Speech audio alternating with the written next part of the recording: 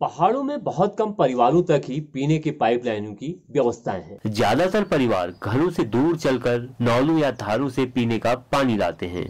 लेकिन अब समस्या और बढ़ रही है। इन प्राकृतिक स्रोतों का पानी कम हो रहा है। पानी की कमी का असर किसान की खेती, आजीविका दोनों पर पड़ा है। बहुत सारी परेशानियों के बीच कुछ किसान पानी की समस्या से निपटने के प्रयास भी कर रहे हैं। मेरा नाम हयात सिंह विष्णु सर। यहाँ हम ये छत से पानी इकट्ठा करके ये टैंक बना रखा है। टैंक में इकट्ठा करते हैं, छत से पाइप लगा के। तो इससे अपना खेती बाड़ी, बीज वगैरह जो भी बोते हैं, गोभी वगैरह, जो भी हमें पानी की ज़रूरत पड़ती है, हम इससे टैंक से पतला पाइप है हमारे पास, इससे हम आगे खेत में सिंचाई करते हैं। फ़ायदा ये है कि हमारा ये कम लागत में बन जाता है क्योंकि गड्ढा हमने खोदा। मैंने खुद गड्ढा खोदा तो इसको लगभग चार पाँच दिन मेरे इसको खोदने में लगे और उसके बाद मैंने इसकी खुदाई मिट्टी हटाई, साइड की और उसके बाद ये पन्नी अपने उससे बिछाई है। देखिए, दस बारह साल इस पन्नी को हो गए हैं, लेकिन ये टैंक बराबर चल रहा है। तो हमें इससे सबसे बड़ा फ़ायदा ये है कि हम पौधे लगाते हैं।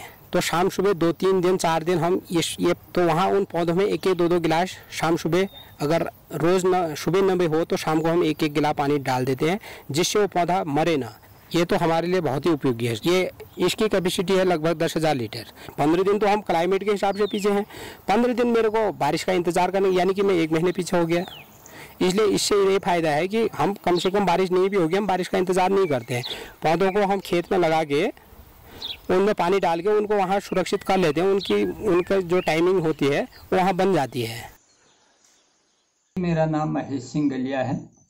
और हम लोग कुछ पानी बचाने के काम में हम लोगों ने पहल की। नहीं, अभी तक का जो सीमेंट के टैंकों का रिज़ल्ट आया है, वो ठीक नहीं है। अधिकतर टैंक लीकेज हो जाते हैं, क्रैक हो जाते हैं।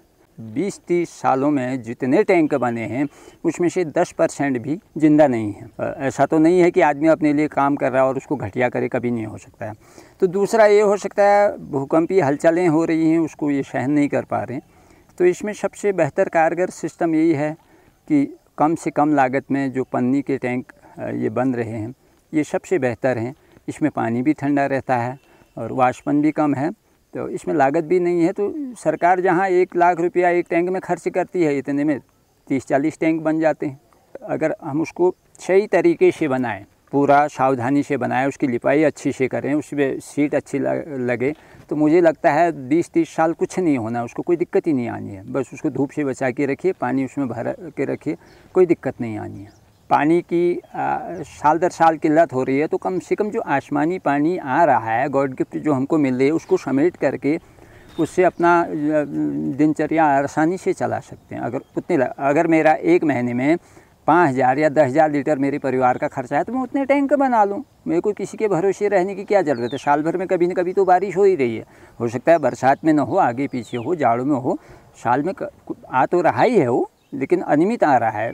जो जलवायु परिवर्तन की बात करें तो अनियमितताएँ शुरू हुई हैं ना उसमें। बाकी तो उतना गड़बड़ नहीं है। सीमेंट का टैंक बनाना महानता नहीं है। आपको दस हज़ार लीटर पानी रोकना है तो उसमें भी दस हज़ार रुक रहा है। इसमें भी दस हज़ार रुक रहा हो। सकता है ये टैंक आप एक दिन में दो दिन में चार आदमी आराम से तैयार कर ले और उसमें बहुत बड़ी लागत आनी है। और जितना पैसा जाना है मार्केट में जाना, सीमेंट का मार्केट में जाना है रेते का मार्केट में जाना, इसको तो आप अपने हाथ से बना रहे हैं ना। आपको मार्केट से केवल पन्नी चाहिए और कभी उसको रिप्लेस करना है तो कोई दिक्कत ही नहीं है। सफ़ाई करनी है, कोई दिक्कत ही नहीं है। तो मेरे ख्याल से ये बेहतर है। आ, मेरा नाम डॉक्टर पुरुषोत्तम पंतोला है तो मैं उद्यान का कार्य देखता हूँ। तो जिस तरह से जलवायु परिवर्तन हो रहा है और विषम परिस्थितियाँ हमारे कृषकों के लिए हो रही हैं हम अपने जानवरों के लिए या अपने कपड़े धोने के लिए तो दूर की बात है हम पीने के लिए भी कई किलोमीटरों दूर आज की तारीख में भी हम कनस्तर में और महिलाएँ कहाँ कहाँ से पानी भर के ला रही है। तो इन सब चीज़ों को अगर हम परिप्रेक्ष्य में ध्यान में रखें तो इन सब चीज़ों के पानी का संरक्षण पॉलिथीन टैंक के माध्यम से बहुत अच्छी तरह से कर सकते हैं, जो कि एक बहुत कम से कम कीमत पर हमारा हमारे लिए ये चीज़ें जो है उपलब्ध हैं आज की तारीख में।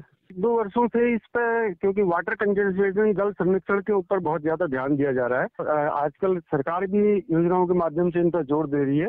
कृषि से जुड़े हुए हैं लोग विशेषकर प्रति क्षेत्रों में, जो लघु कृषक हैं, जो सब्ज़ी उगाने का या बागवानी का काम कर रहे हैं तो उन लोगों को मैं ये सलाह दूँगा कि उत्तराखंड सरकार की और भारत सरकार की बहुत सारी स्कीम है, जिसको आप कृषि विभाग और उद्यान विभाग में इस पर बहुत ज़्यादा ज़ोर दिया जा रहा है और वहाँ पर आपको ये सब्सिडी सब्सिडाइज प्रोग्राम अवेलेबल है।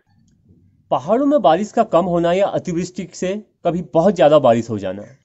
इसका सीधा असर पहाड़ के किसानों की खेती पर पड़ा है, जिससे किसान की आय प्रभावित हुई है। जलवायु परिवर्तन के जानकार बतलाते हैं, आने वाले सालों में पानी की कमी बढ़ने वाली है। इस चुनौती से निपटने के लिए पहाड़ी राज्यों के किसानों को और वहाँ की सरकारों को पानी एकत्र करने के सरल और आसान उपायों को जल्द से जल्द लागू करना होगा।